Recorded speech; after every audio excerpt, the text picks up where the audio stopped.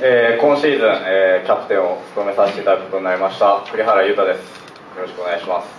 えー えー人間的にもプレイヤーとしてもまだ不十分なところがたくさんありますが、えーなんとかチームをまとめられるようにと思いながらやっています。しかし、あのこのチーム、えーみんなが全員で、えー良いチームを作っていけるようなメンツが揃ってると思います。なので僕はその手助けをちょっと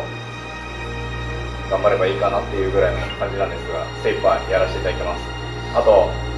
一つ言いたいことがあります、えー僕たちは52試合という長いシーズンを戦うんですが見に来てくださる方はその52分の1なわけでその1をどれだけ大切にできるかという一生懸命やることは当然なんですけどそこをもっとプロとしてのプライドを持って皆さんに応援していただくというか応援したくなるようなチーム作りをみんなでしていきたいと思います。応援よろしくお願いいたしま